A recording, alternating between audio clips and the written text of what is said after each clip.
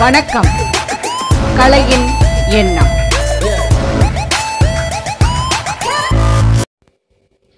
சுதந்திரம்னா என்ன? நாடு விடுதலை அடையிறது மட்டும்தானா? இல்லையே. சுதந்திரத்தில் பல வகைகள் இருக்கு. இப்போ சமீப காலமாக இணையமும் அதில் இணைஞ்சிருக்கு. வாங்க சுதந்திரம் பற்றி ஒரு அலசல். நம்மால் ஒரு செயலை ரொம்ப இயல்பாக செய்ய முடிஞ்சுது அப்படின்னா அது சுதந்திரம். அந்த செய்கிற செயல்லையே மாறுதல்கள் ஏதானும் செய்யணும்னு நினைச்சோன்னா அதையும் எந்த கட்டுப்பாடும் இல்லாம நம்மளால செய்ய முடிஞ்சா அது சுதந்திரம்.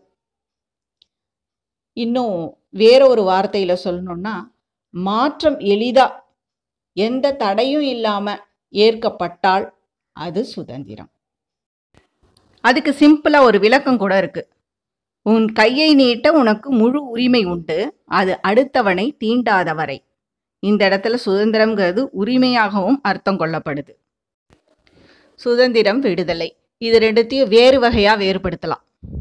எப்படின்னா ஒரு நாட்டுக்கு சட்டம் இயற்ற அதிகாரம் கிடைப்பது சுதந்திரம்னோ மதப்படியோ தத்துவார்த்தப்படியோ பந்தங்களிலிருந்து விடுபடுதல் விடுதலை அப்படின்னும் பிரிச்சு பார்க்குறாங்க.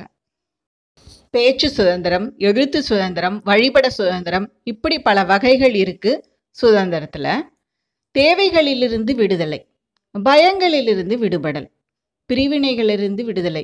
இப்படி பல அரசியல் சுதந்திரம் அதாவது பொலிட்டிக்கல் இண்டிபெண்டன்ஸ் அதுக்கு கீழே ஒரு மன்றம் அமைக்க பேரவை அமைக்க அதுக்கான சுதந்திரம் சங்கம் அமைப்பது இது மாதிரியான சுதந்திரங்கள்லாம் அதுக்கு கீழே வருது. மனிதனோட தனிப்பட்ட சுதந்திரத்தை விடுதலைனும் நாட்டோட சுதந்திரத்தை விடுவிப்பினும் எடுத்துக்கலாமா?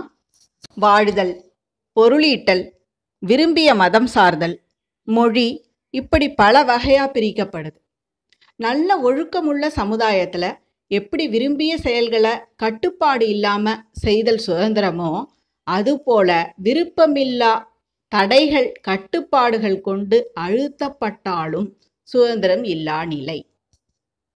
இயற்கை சுதந்திரம் சமூக சுதந்திரம் அப்படின்னு ரெண்டு வகை வருது. இதுல கட்டுப்பாடுகளே இல்லாத சுதந்திரம்னா இயற்கை சுதந்திரம். இது வந்து அரசியல் அமைப்புக்கெல்லாம் முன்னால வேணா சாத்தியமா இருந்திருக்கலாம்.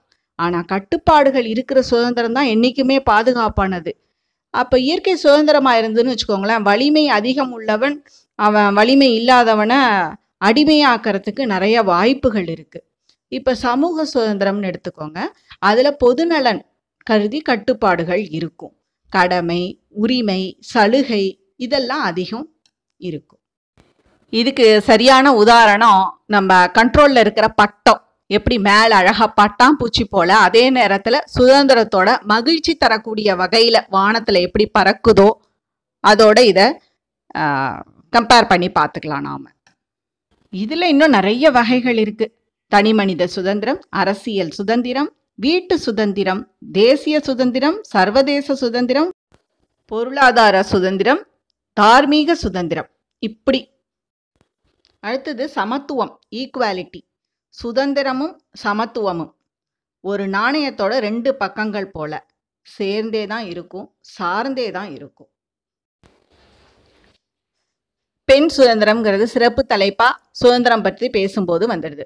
மனிதனுக்கு வகுக்கப்பட்ட எல்லா கோட்பாடுகளும் ஆண் பெண் இருப்பாளருக்கும் பொது அப்படின்னாலும் சில சுதந்திரங்கள் பிரிச்சு பார்க்கப்படுது. தனது தேவைக்கு பிறரை சார்ந்தில்லாமல் சுயமாக பொருளீட்டல் பொருளாதார சுதந்திரம் சிறப்பாக பெண்களுக்கு.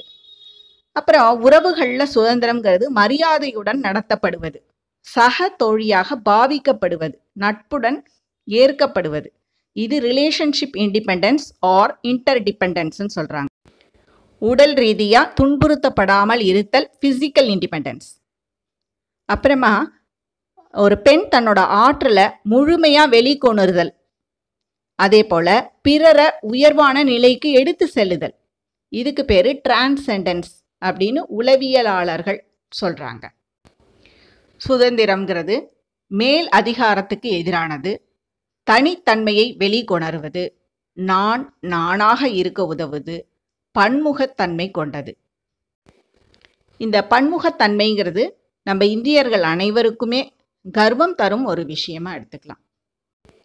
இன்னும் சுதந்திரத்தின் வகைகள் பார்த்தீங்கன்னா கல்வி சுதந்திரம் அறிவுசார் சுதந்திரம் அறிவியல் சுதந்திரம் அப்படின்னு அது பாட்டுக்கு போய்கிட்டே இருக்கு. இப்போ நம்ம இணைய சுதந்திரம் பற்றி கொஞ்சம் பார்ப்போமா?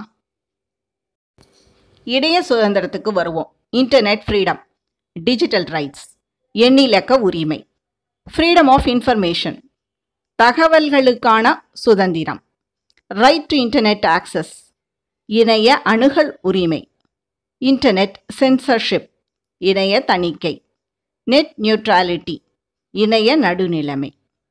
இப்படி இது வகைப்படுத்தப்பட்டிருக்கு. சில நாடுகளில் இணையத்துக்கு கட்டுப்பாடுகள் இருக்குது நம்பத்தகாத சில தகவல்கள் அது அன்ரிலையபிளாக இருக்கிறதுக்கு வாய்ப்பு இருக்குது அதே நேரத்தில் செய்திகள் தட்பவெட்ப நிலை பற்றிய குறிப்புகள் ஏதான ஒரு டிசாஸ்டர் இல்லை தேர்தல் முடிவு இது மாதிரியான விஷயங்கள் தொடர்ச்சியாகவும் ரொம்ப அதிவேகமாகவும் மக்களை சென்றடைய இணையம் உதவுது. அதனால் இணைய உபயோகிப்பாளர் எண்ணிக்கை அதிகரித்த வண்ணம் தான் இருக்குது கடைசியாக ஒரு வார்த்தை. இன்னைக்கு நாம் சுதந்திர காற்றை சுவாசிக்க அதை நமக்கு புரிய வைக்க தங்களது வாழ்க்கையை தவமாக்கி நம்ம உணர வைச்ச அனைத்து தியாகிகளுக்கும் இந்த இடத்துல சிரம் தாழ்ந்த நம்ம வணக்கத்தை தெரிவிக்கலாம். இதுவரை என்னுடன் பயணித்த அனைவருக்கும் மிகுந்த நன்றி.